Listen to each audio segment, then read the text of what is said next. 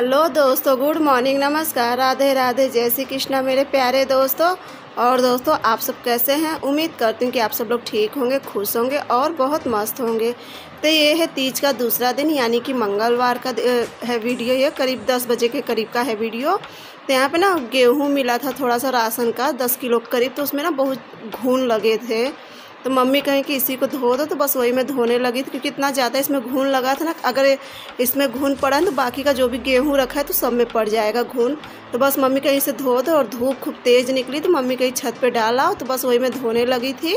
और ये देखिए, सारा गेहूँ धुल रही तो इतना ज़्यादा इसमें से घून निकल रहा था ना कि बहुत ज़्यादा इसमें अब गेहूँ तो बहुत साफ़ था, इसमें कचरा बिल्कुल भी नहीं था, लेकिन ना बस इसमें घून बहुत लगे थे।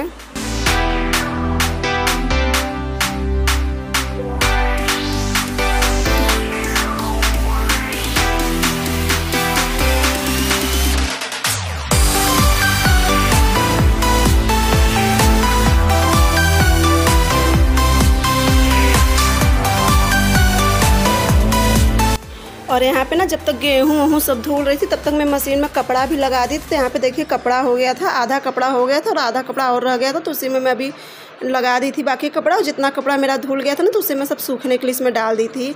और फिर इसे मैं ले जाऊँगी, छत पर पहले जाऊँगी, गेहूँ फैला आऊँगी। और ये देखिए ना कितनी, इतनी ज़्यादा धूप थी ना कि मेरे से बर्दाश्त नहीं हो रहा था, क्योंकि जो कि इस मौसम में इतना धूप नहीं रहती, लेकिन बहुत ज़्यादा धूप थी। तो यहाँ पे देखिए मैं वाइपर से ही गेहूँ फैलाती हूँ। और ना मैं गेहूँ ज़मीन पे ही फैलाया एक मन किया कि प्लास्टिक पे डाल दूँ, अगर अचानक से पानी उनी आ जाएगा, लेकिन मम्मी कही ना कि ज़मीन एकदम जल रही है तो जिस वजह से ना सारे घून वो हो जाएँगे, मर जाएँगे तो मम्मी कहीं ज़मीन पर ही अच्छे से फैला दो। तो बस इसी वाइपर से मैं, और वाइपर से ना गेहूँ फैलाना बहुत ही आसान रहता है। आप अपने मन से एकदम पतला गेहूँ फैला सकते हैं। तो बस वही वाइपर से मैं गेहूँ फैला रही थी, और उसके बाद फिर डाल दूँगी सारा कपड़ा छत पर ले आके। तो यहाँ पे देखिए, इसी लागे में कपड़ा भी सब डाल दे रही थी। और उसके बाद फिर मैं गई थी ना स्लीपर पहन के आ गई क्योंकि ना बहुत ज़्यादा पैर जल रहा था।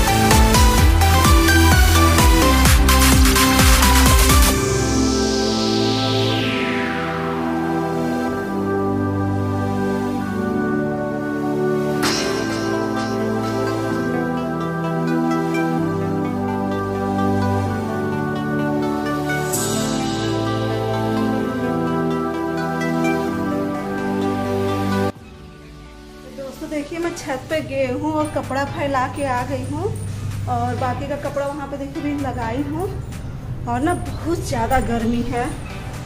इतनी ज़्यादा गर्मी है ना कि एकदम हद से ज़्यादा गर्मी है। ये हो रहा कैसे क्या काम करो? बहुत देर पसीना से पूरा उठ गई हूँ। बहुत गर्मी लग रही है। तो चलिए अब और भी काम है, बाकी आप लोग के साथ मैं सब शेयर करवा ही करती हूँ जितना भी इतना काम उम करती हूँ। और आप लोग कमेंट करके नहीं बता दें कि आप लोग को मेरा ब्लॉग कैसा लगता है।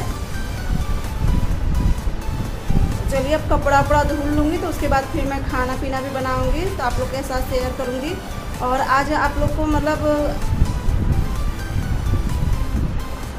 ना शाम को जैसे यहाँ पे तीज के दूसरे दिन भी खाना बनता है, जैसे पूड़ी कचौड़ी या फिर जो भी आप लोग को मन है तो बनता तो देखो, इतनी समय तो नहीं बनाऊँगी क्योंकि कल रात में भी बना था।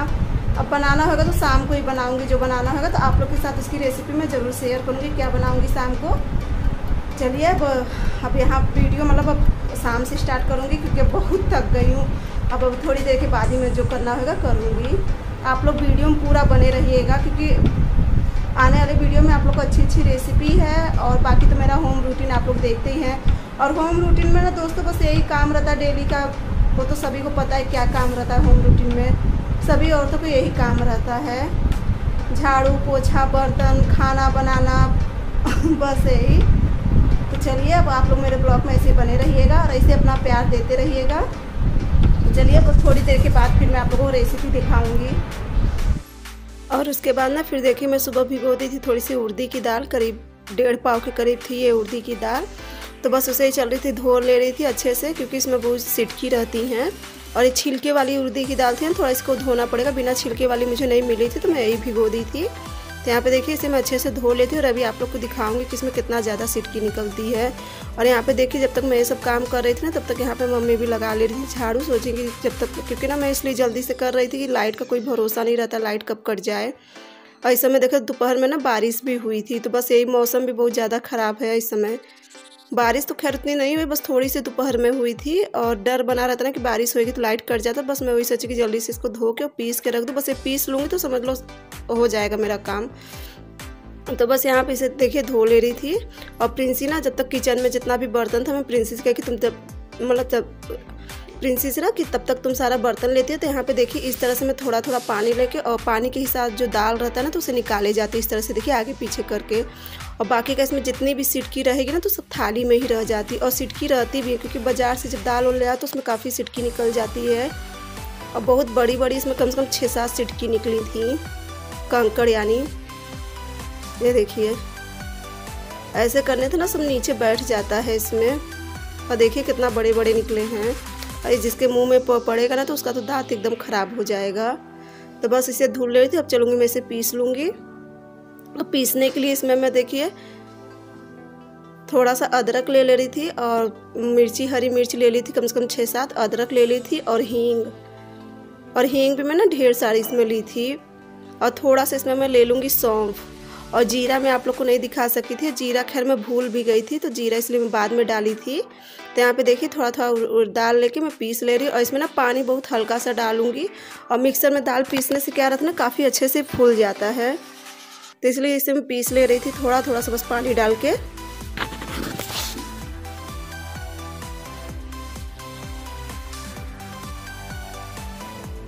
और इसमें ना बस थोड़ा सा सौंफ डालने से ना इसका फ्लेवर मतलब काफ़ी अच्छा टेस्ट इसमें आ जाता है, एक अलग ही टेस्ट रहता है।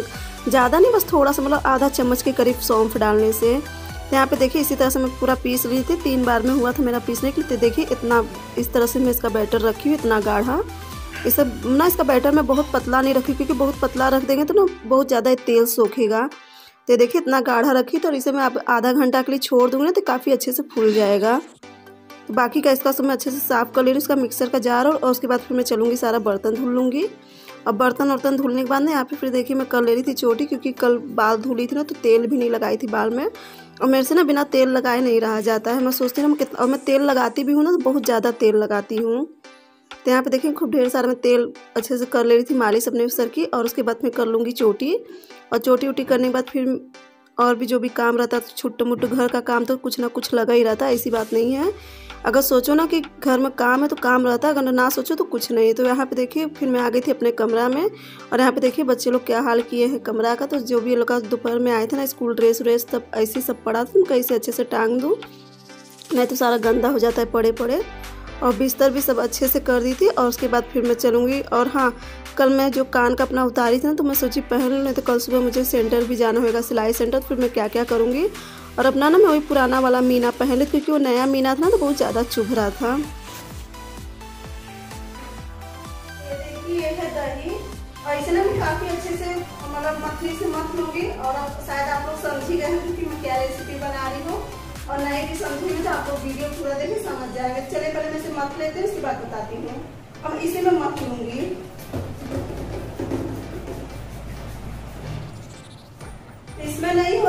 इसमें कर ले रही हूँ?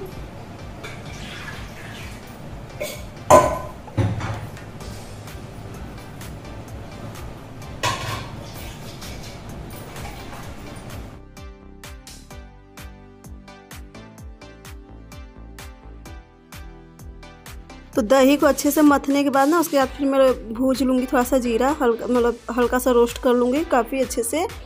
तो यहाँ पे देखिए मैं थोड़ा सा जीरा अच्छे से भून ले रही हूँ। और बस मैं ना इसमें बहुत ताम झाम से नहीं बनाऊँगी, एकदम सादे में ही बनाऊँगी ताकि कम घर में रहता बस उसी सामान में बन जाएगा। तो यहाँ देखिए मेरी उर्दी की दाल। अच्छे से फूल गया है मतलब एक घंटा हो गया होगा इसे पीसे हुए तो देखिए कितने अच्छे से फूल गया है। और यहाँ पे देखिए थोड़ा सा जीरा मैं भून ले रही हूँ।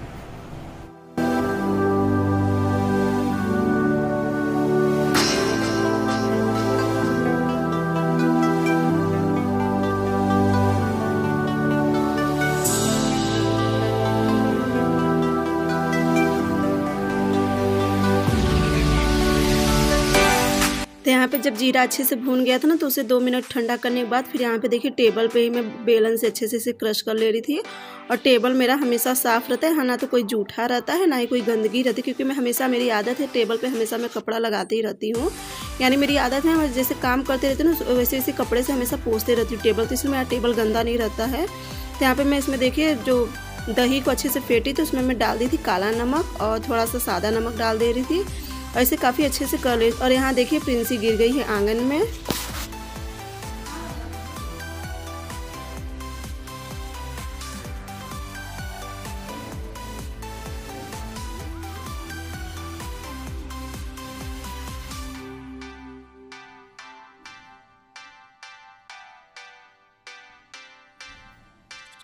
यहाँ पे प्रिंसी गिर गई थी ना तो बस मैं उसे खड़ा करने की कोशिश करी, क्योंकि थोड़ा सा शायद उसके पैर में हल्का सा हड्डी में लग गया था, और जब हड्डी में लगता है तो काफ़ी ज़्यादा दर्द होता है। तो बस वही मैं उसको अच्छे से कर रही थी, और रो रही थी खूब। वही में कहीं, शांत हो जाए ज़्यादा चोट नहीं आई है। तो यहाँ पे ना प्रिंसी मेरे पास आ रही थी गिर गई ज़्यादा नहीं लगा, बस थोड़ा सा लगा है, ज़्यादा नहीं लगा है। ये देखिए। कहाँ लगा? कहाँ पर लगा? ये देखिए, इसको यहाँ पे हड्डी पे लग गया है, देखिए। चलो, अभी कुछ लगा दूँगी ना।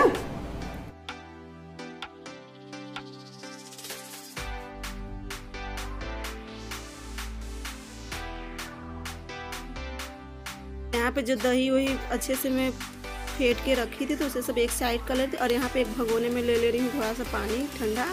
और इसी में मैं डाल दूँगी सादा नमक। और उसके बाद फिर देखिए मैं ले लूँगी कढ़ाई। इस कढ़ाई में ना कल सब पूड़ी बनाए थे तीज वाले दिन तो वही कढ़ाई रखा था उसी में तेल भी था तो बस वही कढ़ाई ले ली थी और तेल को मैं कर ले रही हूँ गर्म। और यहाँ पे देखिए मेरा जो ये उर्दी की दाल थी ना, काफ़ी अच्छे से फूल गया था मतलब इतना अच्छे से फूल गया था तो बस वही देखिए मैं भी इसे पानी में आप लोग को चेक करके दिखा दी। देखिए कितना ये ऊपर आ गया है, देखिए। और इसकी ना यही क्वालिटी है कोई भी चाहे बेसन हो, चाहे कोई भी चीज़ अगर आप बना रहे हो ना तो पानी में डाल के चेक करें तो काफ़ी अच्छे से ऊपर आ जाता है। तो यहाँ पे देखिए मैं गोला गोला छोटा छोटा सा इस तरह से डाल दे रही थी इसका पकौड़ी टाइप का और मैं बना रही हूँ दही वड़ा। एकदम जैसे मम्मी लोग पहले बनाती थी एकदम सिंपल में दही वड़ा ना बस मैं उसी तरह से बनाई थी मैं बहुत ताम झाम नहीं कर क्योंकि मेरे पास देखिए घर में जितना सामान था ना मैं अपना उस हिसाब से बना रही थी। ना तो मैं कोई मीठी चटनी बनाई थी ना ही तीखी चटनी बनाई थी। और यहाँ देखिए कितने अच्छा से एकदम फूला फूला बहुत मतलब ये बहुत ज़्यादा फूला था ऊपर से एकदम क्रिस्पी था और अं-, अंदर से ना एकदम सॉफ्ट था।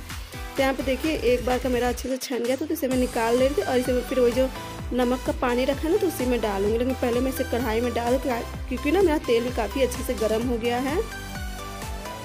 और ये दो तीन बार के लिए हुआ था छानने के लिए, और एक बार जो मैं पहली बार का निकाली थी ना तो मम्मी प्रिंसी, मम्मी को सादा बहुत पसंद है ना तो मतलब बिना जैसे दही में भिगोए तो फिर मम्मी थोड़ा सा नमक से खा ली थी एक दो, और एक दो प्रिंसी भी खा ली थी।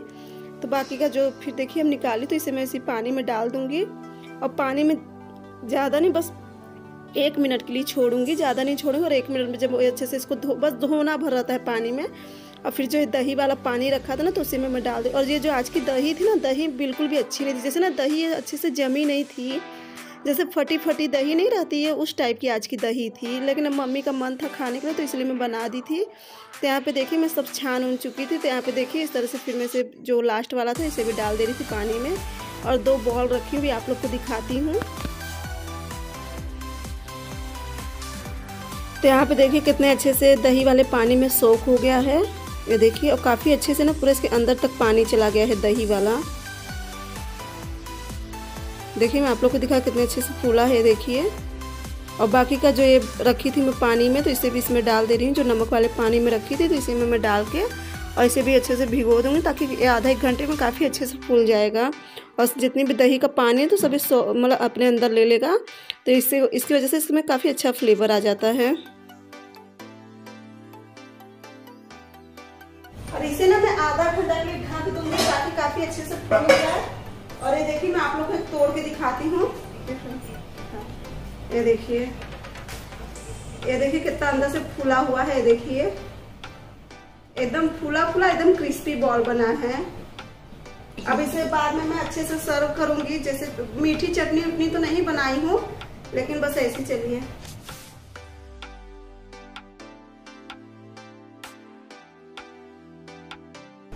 देखिए कितने अच्छे से पूरा सोख लिया है देखिए। अब मैं इसे निकालती हूँ।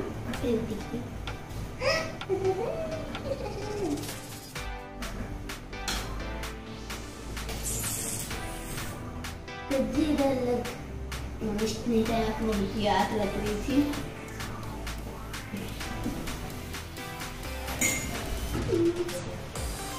और इस पर डालूँगी थोड़ा सा जीरा का पाउडर भुने हुए जीरा का। और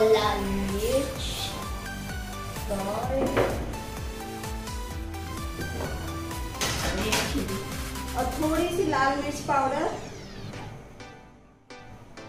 और चुटकी बरोबर नमक। चम्मच। और बाकी तो चटनी उटनी नहीं बनाई तो लीजिए आप लोग खाइए। और देखिए कितना सॉफ्ट बना है। ये लीजिए। काट के दिखाती हूँ। ये देखिए कितना सॉफ्ट बना है। ये देखिए। ये देखिए बहुत ही सॉफ्ट बना है ये देखिए। नहीं नहीं बहुत ज़्यादा लो पिंसी खा के बताओ कैसा है हाँ। बताओ कैसा है।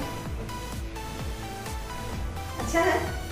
बताओ सबसे अच्छा है बहुत ही अच्छा बना है गाइस तो जाता है तो दोस्तों, आज की रेसिपी आप लोग को कैसी लगी कमेंट में ज़रूर आप लोग बताना और चैनल को लाइक सब्सक्राइब शेयर करना मत भूलना और सब्सक्राइब के बगल में बेल आइकन को ज़रूर दबाना। तो चलिए दोस्तों आज का वीडियो मैं यहीं पे एंड करती आप सबसे अगले वीडियो में मिलूँगी। तब तक के लिए बाय बाय गुड नाइट